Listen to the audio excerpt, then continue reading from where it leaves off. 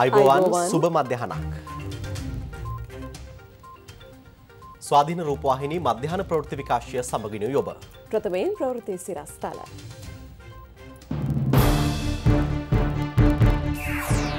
රිෂාඩ්ගේ ගෙදර හිටපු තවත් බාලවයස්කාර දැරියන්ගෙනුත් ප්‍රශ්න කිරීම් අරබයි. බාලවයස්කාර දරුවන් මෙහිකාර සේවේ ඉන්නවාද බස්නාහිර මෙහෙයුම් අකණ්ඩවම. කොරෝනා පොකුරට ඊයේත් එක් දහස් හත්සිය එකොළහක් එක් වෙද්දී වැඩිම පොසිටිව් කොළඹ. සජිත් පිලේ මන්ත්‍රී හරින් CITයට. සිඩ්නී බසා දැමීම තවත් මාසයකින් දිකුවෙද්දී වික්ටෝරියාත් දකුණු ඕස්ට්‍රේලියාත් බසා දෙමේ.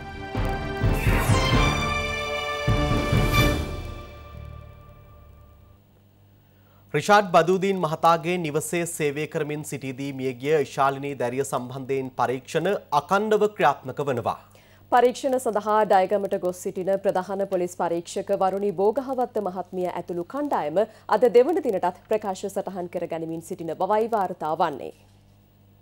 ඉශාලනී දැරිය මේ යාමේ සිද්ධිය සමග රිෂාඩ් බදුදීන් මහතාගේ පිරිඳ ඇතුළු සමාජකින් හතර දෙනෙකු රක්ෂිත බන්ධනාගාරගත කෙරුණා.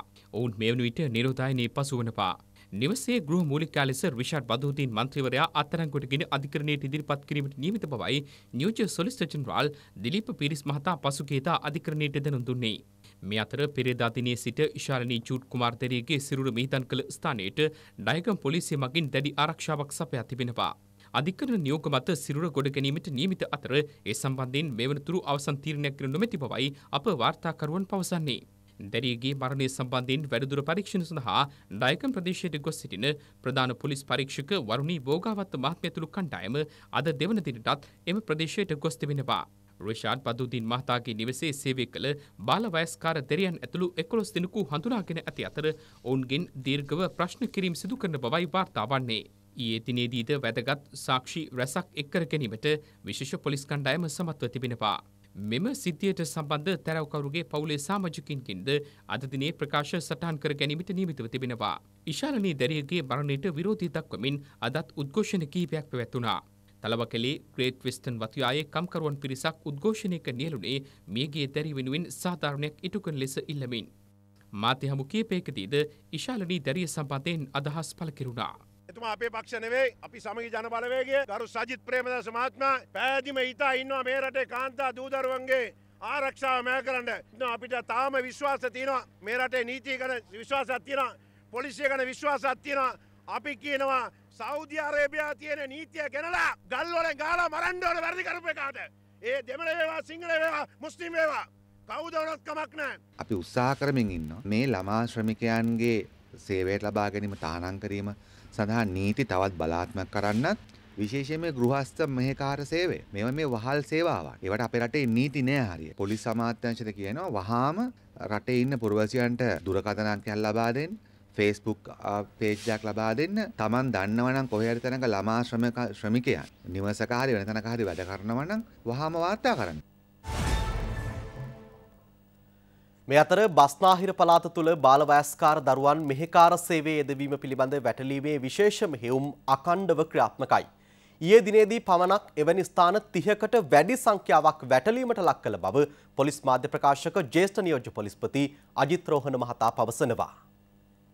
කොළඹට රැගෙනවිත් කොළඹ සහ තදාශන්න ප්‍රදේශවල වැඩි වශයෙන්ම මේ ආකාරයට බාල වයස්කරුවන් මේ කාර්ය සේවය යොදවන බවටයි තොරතුරු ලැබී තිබෙන්නේ. ඒ අනුව විශේෂ මෙහෙයුම් සිදු කිරීමට ශ්‍රී ලංකා පොලිසිය තීරණය කරනු ලැබුවා. ඊයේ දින මෝදර සහ කොල්ලුපිටිය ප්‍රදේශවල එවැනි හඳුනාගත් තොරතුරු ලැබුණු ස්ථාන 30කට ආසන්න සංඛ්‍යාවක් පරීක්ෂා කර තිබෙනවා. විශේෂ කණ්ඩායම් යොදවා ඒ වගේම අද දිනේත් කොළඹ නගරයේ අනිකුත් පොලිස් ස්ථාන සහ පොලිස් වසම් ආශ්‍රිතවත් මෙවැනි මෙහෙයුම් සිදු කිරීමට බලාපොරොත්තු වෙනවා. කුට්ටනය සහ තැනැත්තන් වෙළඳාම නැමැති වරද සිදුවන්නේ දැයි සොයා බලා ඒ පිළිබඳවත් විමර්ශන සිදු කරනු ලබනවා. යම් තොරතුරක් වෙතොත් බිඳුව එකයි එකයි දෙකයි හතරයි තිස්තුනයි තිස්තුනයි තුන දුරකථන අංකයට ලබා දෙන මෙන් කාරුණිකව ඉල්ලා සිටිනු ලබනවා.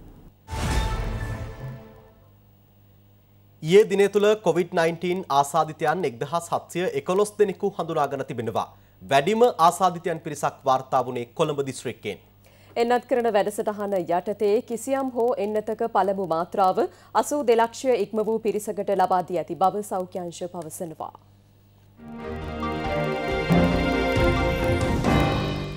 ඊයේ දිනේ හඳුනාගත් කොරුණ ආසාධිතයන් එක් දහස් හත්සේ කොළොස් දෙෙන අතරින් හාරසියාසුවෙක් දෙනෙකු කොළඹ දිස්ත්‍රික්කෙන් වාර්තා වුණ ගම්පහින් තුන්සිය දස දෙනෙකු කළුතරින් දෙසේ විසි අට දෙනෙකු සහ මඩකලපුුවෙන් එකසිය නව දෙනෙකු හඳුනා කෙනුණා. එය අනු මෙරටින් වාර්තාවන සමස්ත කොරුණ ආසාධිතයන් සංඛ්‍යාව දෙලක්ෂ අනු නවදහස් අටසිය අනු දෙකක්. විසි පන්දහස් තුන්සියාසු නව දෙනෙකු රෝහල්වල සහ අතරමැදි ප්‍රතිකාර මධ්‍යස්ථානවල ප්‍රතිකාර ලබනවා. පූර්ණ සුව ලැබූ සංඛ්‍යාව දෙලක්ෂ හැත්තෑ දහස් තුන්සිය පනස් හයක්. ඒ දිනේ තුළ PCR පරීක්ෂණ නවදහස් නවසිය තිස් පහක් සිදු කර ඇති අතර ඇන්ටිජන් පරීක්ෂණ හාරදහස් හයිසේ හැත්තෑ තුනක් සිදු කළ බව සෞඛ්‍ය අංශ සඳහන් කළා. කොරුණ ආසාධිතයන් ඉහළ යාමත් සමග ඔක්සිජන් අවශ්‍යතාවද ශීක්‍රෙන් ඉහළ ගොස් ඇති බව සෞඛ්‍යංශ ප්‍රකාශ කළා.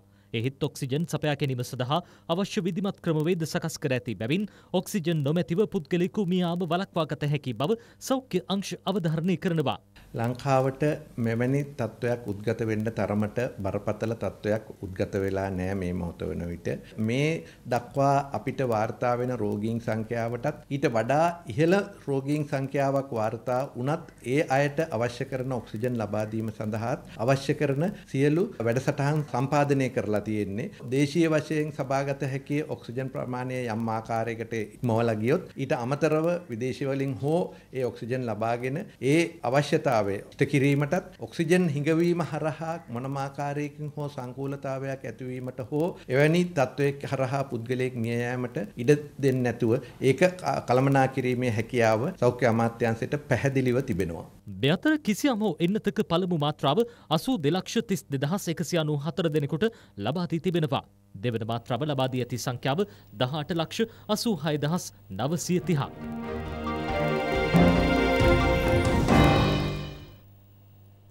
පාර්ලිමේන්තු මන්ත්‍රී හරින් ප්‍රනාන්දු මහතා අපරාධ පරීක්ෂණ දෙපාර්තමේන්තුව හමුවේ අද පෙනී සිටියා. ඒ මහතාගෙන් මේ වන විටත් ප්‍රශ්න කිරීම් සිදු කෙරෙනවා. අපරාධ පරීක්ෂණ දෙපාර්තමේන්තුව ප්‍රකාශයක් ලබා ගැනීම සඳහා කළ දැනුම් දීමකට අනුවයි හරින් ප්‍රනාන්දු මහතා අද පෙරවරුවේ එම දෙපාර්තමේන්තුවට පැමිණියේ. පාස්කු ප්‍රහාරයෙන් පසු ඔහු කළ ප්‍රකාශයකට අදාළව ප්‍රකාශ සටහන් කර ගැනීම සිදු කෙරෙන බවයි වාර්තා වන්නේ. අපරාධ පරීක්ෂණ දෙපාර්තමේන්තුව හරින් ප්‍රනාන්දු මහතාකින් බේවන විටත් එම ප්‍රකාශ ලබා ගනිමින් සිටිනවා. අද රටට අවශ්‍ය වෙලා තිබෙන්නේ සමගි ජන බලවේගේ මන්ත්‍රීවරු දඩයන් කිරීම නොව පාස්කු ප්‍රහාරයට සැබෑ වගකිව යුත්තන් සොයල බලල පරීක්ෂණ පවත්වල මේ රටේ ජනතාවට පොරොන්දු වූ පරිදි ඒ ජනතා පොරොන්දුව ඉෂ්ට කිරීම තමයි අද මේ රජයෙන් සිදුවිය යුත්. පාස්කු ඉරිදා බෝම්බෙ පුරලා අවුරුද් දෙකයි මාස තුනක් එනවා ආපු ගමන් ඔක්කොම අල්ලනවා කිව්වා දැන් මම හිතන්නේ ඒවා වෙනුවට කරන්නේ අපේ මන්ත්‍රීවරු දඩයන් කරනවා. අපි ආණ්ඩුවට කියනවා පාස්කු ඉරිදා මහමොළු කරු දන්නවා නම් දන්නවා කියලා කිව්වා. කරුණාකරලා ඒගොල්ලෝ දඬුවම් දෙන්න මේ මන්ත්‍රීවරුන්ට කරදර කරන්නේ නැතුව. අග්‍රාමාත්‍ය මහින්ද රාජපක්ෂ මහතා ශ්‍රී ලංකා අමරපුර මහානිකායේ අභිනව උත්තරීතර මහානායක දුරයට පත් අග්ගමහා පණ්ඩිත අතිපූජ්‍ය දොඩම්පහළ චන්ද්‍රස්තිරි ස්වාමින් වහන්සේ බැහැදුටුවා. රාජකිරිය කලපළුවාව තපෝවන භාවනා මධ්‍යස්ථානයට පැමිණි අග්‍රාමාත්‍යවරයා අතිපූච්‍ය දොඩම් පහළ චන්ද්‍රසිරි ස්වාමින් වහන්සේ බැහැදැක සූදුක් විමසුවා. අනතුරු උන්වහන්සේ මෙහිදී කෙටි අනුශාසනාවක්ද සිදු කළා. දෙවස් අහිමි සාමනීර ස්වාමින් වහන්සේගේ පවුල් වෙනුවෙන් නිවාස ලබාදීම සඳහා ගෙන යන වැඩපිළිවෙල පුළුල් කිරීම කෙරෙහි අවධානය යොමු කරන ලෙස උන්වහන්සේ දැනුම් දුන්නා. රත්නපුර මලන්ගම ප්‍රදේශයේ පදිංචිව සිටි දා හතර හැවිරිදි පාසා සිසුවෙකු දින කිහිපයක සිට අතුරුදන් පැති බව දෙමව්පියන් පවසනවා. මෙම පාසල් සිසුවා පසුකිය විසි හතරවනදා සිට අතුරුතන්ව ඇති පවයි ඔවුන්ගේ දෙමව්පියන් පවසන්නේ. ඔහුගේ පියා මඩකලුප පොලිස්ථානයට අනියුක්තව සේවය කරනවා. සිසුවා නිවසින් බැහරට යන ආකාරය අසල තිබූ CCTV කැමරාවල සටහන්ව තිබෙනවා. මෙම අතුරුදන්වීම සම්බන්ධයෙන් දෙමව්පියන් රත්නපුර පොලිසියට පැමිණිලි කර ඇති අතර මෙවන විට පරීක්ෂණ ආරම්භ කර ඇති බවයි පොලිසිය පවසන්නේ. දරුවට දැනුවත්ත කිසිම ප්‍රශ්නයක් තිබුණෑ නමුත් දරුවා ගෙදරින් ගිහිල්ලා තියෙනවා හැමතැනම හොයනවා නමුත් කිසිම තැනකින් කිසිම හෝඩුවාවක් නෑ මම සියලුම දෙනාගෙන් ඉල්ලා සිටින්නේ දරුවා සොයාගන්න උදව් කරන්න කියලාම අපි දන්නේ මගේ දරුවා කිසිම වරදක් කළා නෑ මාතුරුලේ මගේ උකුලේ ඉඳගෙන ඉන්න දරුවේ අපිට හිතා ගන්න බැහැ මේක. නමේ වසර හිටියා කිව්වට ඒ ළමයා එක දෙක වසරේ වැඩ කරන්නේ සෙල්ලම් බඩු හදනවා වාහන හදනවා ඇරෙන්න යාගේ ලෝකෙ වෙන කිසිම දෙයක් තිබුණේ නෑ මං ඉල්ලන්නේ මගේ රත්තරම් පුතා දැක්කොත් සනිකව අපට දැනුම් දෙන්න කොරෝනා වසංගතය හමුවේ ඔන්ලයින් අධ්‍යාපන කටයුතු විධිමත් කිරීම සඳහා තෝරාගත් පාසල් වෙත ටැප් පරිගණක ලබා දීමට රජය පියවර ගත්තා. මතුගම දොඩම්පාපිටිය ප්‍රාථමික විද්‍යාලයට එලෙස ලබා දුන් පරිගණක යන්ත්‍ර ගුරුවරුන් රැගෙන ගොස් ඇති බවට ඇතැම් පිරිස් ගෙන යන ප්‍රචාර අසත්‍ය බව අධ්‍යාපන අමාත්‍යංශය අවධාරණය කරනවා. ඔන්ලයින් ඔස්සේ අධ්‍යාපන කටයුතු සිදු කිරීමට පහසුකම් නොමැති දුෂ්කර ප්‍රදේශවල දරුවන්ට පහසුකම් සලසමින් තෝරාගත් පාසල් වෙනුවෙන් පරිගණක යන්ත්‍ර ලබාදීමට අධ්‍යාපන අමාත්‍යංශය පියවර ගත්තා. රටපුරා එම සම්පත් මධ්‍යස්ථාන දෙදහස් එකසියක් පිහිටවීමටයි සැලසුම් කර තිබෙන්නේ. එම වැඩසටහන් යටතේ පළමු අවස්ථාවේදීම පරිගණක යන්ත්‍ර ලබා දුන්නේ දොඩම්පාපිටිය ප්‍රාථමික විද්‍යාලයටයි. එලෙස ලබාදුන් පරිගණක ගුරුවරුන් පිරිසක් රැගෙන ගොස් ඇති බවටයි පසුගියදා වාර්තා කෙරුණේ. එලෙස කිසිදු අක්‍රමිකතාවක් සිදුව නොමැති බව වලලා විට කලාප අධ්‍යාපන අධ්‍යක්ෂ DMLP දිසානායක මහතා පවසනවා. පාසල වෙත ලබාදුන් පරිගණක සියල්ලම සුරක්ෂිතව පවතින බවයි දොඩම්පාපිටිය ප්‍රාථමික විද්‍යාලයේ විදුහල්පති RHDMR සෙනවිරත්න මහතා ප්‍රකාශ කළේ.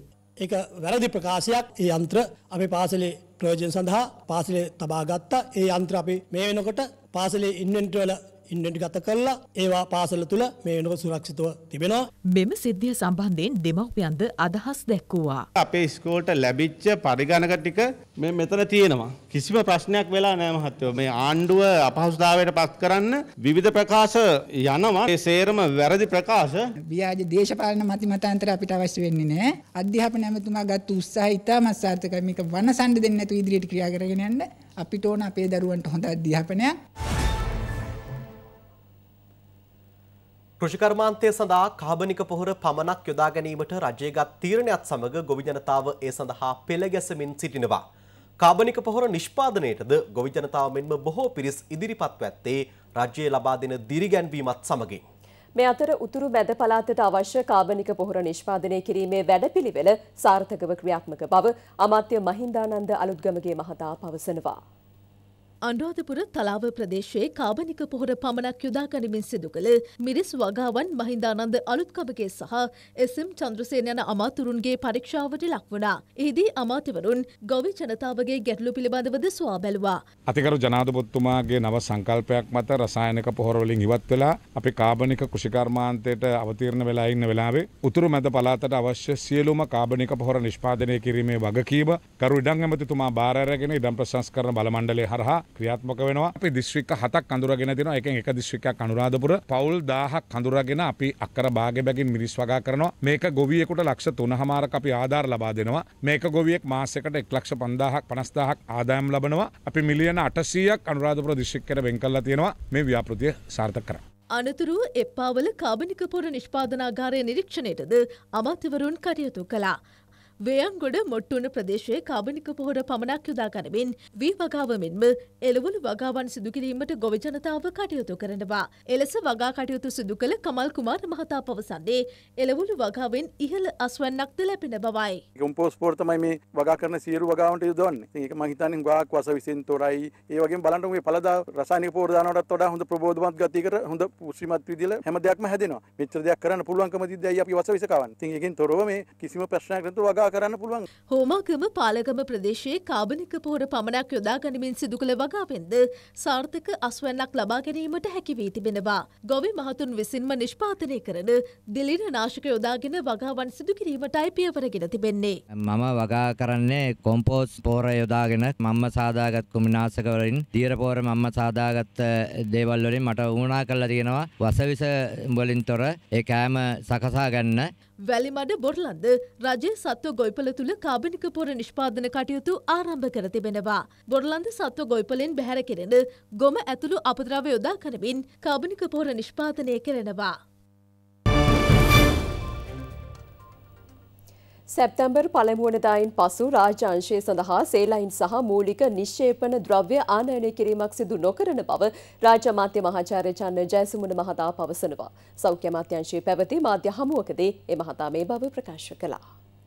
සේලයින් ඇතුළු මේ මූලික නික්ෂේපන ද්‍රාවණ ආනයන කිරීම සඳහා වසරකට ශ්‍රී ලංකා රජය ආසන්න වශයෙන් රුපියල් කෝටි 172ක් පමණ වැය කරනවා. ශ්‍රී ලංකාව තුල දිනකට පරිභෝජනය කරන සේලයින් බෝතල් සංඛ්‍යාව ආසන්න වශයෙන් 50000ක් පමණ වේ. සේලයින් නොවන අනෙකුත් මූලික නික්ෂේපන ද්‍රාවණ බෝතල් 20000ක් පමණ අප භාවිතා කරනවා. වාර්ෂිකව ගත්තොත් මේ අගය සේලයින් බෝතල් මිලියන 18ක් භාවිතා. සේලයින් නොවන අනෙකුත් නික්ෂේපන ද්‍රාවණ බෝතල් මිලියන 7ක් අප පරිභෝජනය ආයෝජනය කරනවා. උඩ මේ සියල්ලම අපි විදේශ රටවල් වලින් තමයි ගෙන ඇවිල්ලා තියෙන්නේ. මේ වසරේ සැප්තැම්බර් මාසයේ පළවෙනිදා ඉඳන් ශ්‍රී ලංකාවේ රාජ්‍ය අංශය සඳහා සේලයින් සහ අනිකුත් මූලික නික්ෂේපන ද්‍රාවණ සියල්ලම රාජ්‍ය ඖෂධ නිෂ්පාදන සංස්ථාව බද්ධ ව්‍යාපාරයක් ලෙස ආරම්භ කරන ලද මේ කර්මාන්ත ශාලාවේ නිපදවලා ලබා ගැනීම සඳහා කැබිනට් අනුමැතිය ලැබිලා තියෙනවා.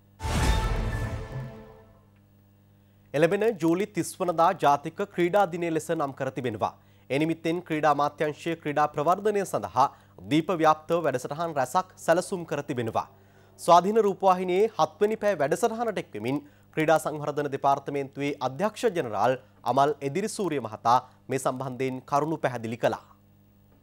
මේ මොබයිල් එක ඇතුළේ හිර වෙලා ඉන්න දරුවා එතනින් එළියට අරගෙන සෞඛ්‍ය සම්පන්න ජීවිතයකට උරුමකම් කියන දරුවෙක් බවට පත් කරන සහ ජාතික මට්ටමේ ජාත්‍යන්තර මට්ටමේ ජයග්‍රහණ අත්පත් කරගන්න දරුවෙක් බවට පත් කරන්න ඔබතුමාලා ජාතික ක්‍රීඩා දිනේ මොන වගේ වැඩසටහනක්ද ආරම්භ කරලා තියෙන්නේ? සියලුම රාජ්‍ය ආයතනවල 30 වෙනිදා උදේ ඒ ජාතික වැඩසටහන ක්‍රියාත්මක වෙනවා.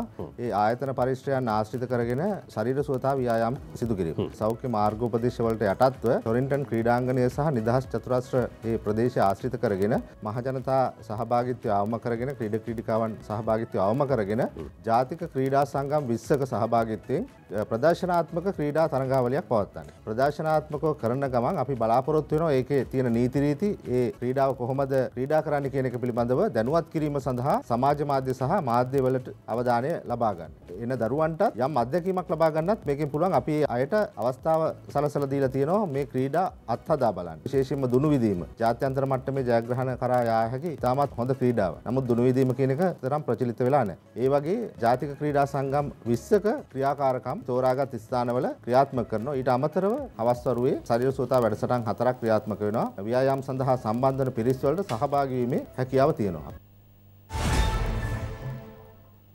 දැන් පුවත් කිහිපයක් ලුහුඩින්. මුල්ලේරියාව ගල්වාන පුරාණ ව්‍යහනස්ථානයේදී කළ පත්තිරිප්පුව සහිත ධාතු මන්දිරය විවෘත කෙරුණා. ශ්‍යාමපාලි වංශික මහනිකායේ කල්යාණී සමග්‍රී ධර්ම මහා සංඝ සභාවේ මහනායක අතිපූජ්‍ය පිඹුරේ උදිත ස්වාමින් වහන්සේගේ ප්‍රධානත්වයෙනුයි එම කටයුතු සිදු කෙරුණේ. මහනුවර ජාතික රෝහලේ මාතෘ ඒකකය සඳහා අවශ්‍ය ඇඳන් ඇතුළු වෛද්‍ය උපකරණ තොගයක් පරිත්‍යාග කෙරුණා. විපස්සී බෞද්ධ මධ්‍යස්ථානාධිපති පූජ්‍ය රජවැල්ලේ සුබුති ස්වාමින් වහන්සේගේ 50 වන ජන්මදිනය වෙනුවෙනුයි මෙම පරිත්‍යාග සිදු කෙරුණේ. එංගලන්තයේ සිල්වියා ලංකා පදනමේ මූල්‍ය අනුග්‍රහකත්වයෙන් පිරිනැමුණු උපකරණ තොගේ වටිනාකම රුපියල් ලක්ෂ 300ක්. ඒ කළ පුංචි මායිලිය කුඹුරියායේදී රුක්‍රෝපණ වැඩසටහනක් ක්‍රියාත්මක කෙරුණා. තුන්සිය හයිබී දෙක සිංහ සමාජයේ මැතියත්වීමෙන් එම කටයුතු සිදු කෙරුණු අතර මී සහ කුඹුක් පැල සිටවීම මෙහිදී සිදු කෙරුණා. ඒ කළ සිංහ සියනෑ සිංහ සමාජය හා උඩුකම්පොල සිංහ සමාජයද මේ සඳහා දායකත්වය ලබා දුන්නා. ජනාධිපති පරීක්ෂණ කොමිෂන් සභාව පූර්ව කොමිෂන් සභාවන්හි සහ කමිටුවල තීරණ ඇගීම් සහ ඉදිරි ක්‍රියාමාර්ග ගැනීම පිළිබඳ කොමිෂන් සභාව රැස්වුණා. බණ්ඩාරනායක සම්මන්ත්‍රණ ශාලා පරිශ්‍රයේදී කොමිසම රැස්වුණු අතර සාක්ෂි ලබාතීම සඳහා හිටපු අමාත්‍ය රෝහිත බෝකොල්ලාග මහතා පැමිණි සිටියා. ජාතික ඉදිරිකිරීමේ බැංකුවේ දංකුටුව ශාකාව නව ගොඩනැගිල්ලකට රැගෙන යාම ඊයේ සිදු කෙරුණා. එම කටයුතු සිදු කෙරුණේ අරුන්දික ප්‍රනාන්දු සහ සනත් නිශාන්ත යන රාජ්‍ය අමාත්‍යරුන්ගේ ප්‍රධානත්වයෙන්. ජාතික ඉදිරිකිරීමේ බැංකුවේ සභාපති කේශීලා ජයවර්ධන මහත්මියද එම අවස්ථාවට සහභාගී වුණා. අතුරුකිරිය පූරේ මිගදාය බෞද්ධ මධ්‍යස්ථානයේ අභිනවෙන් ඉදිකළ ගාන්ටාර කුළුණ සහ වාහල්කඩ විවෘත කෙරුණා. පුච්ච මොරවක ශාන්ත ස්වාමින් වහන්සේගේ අනුශාසනා පරිදි ප්‍රදේශයේ දානපතින්ගේ පරිත්‍යාගෙනුයි ගාන්ටාර කුළුණ සහ වාහල්කඩ ඉදි කෙරුණේ. ඒත් සමගින් මධ්‍යහන ප්‍රවෘත්ති විකාශය නිමාවට පත්වනවා. පසරු එකයි පනස් පහේ සිට අපගේ පැයින් පෑ ප්‍රවෘත්ති විකාශය බලාපොරොත්තු වන්න ඔබට සුබ දවසක්.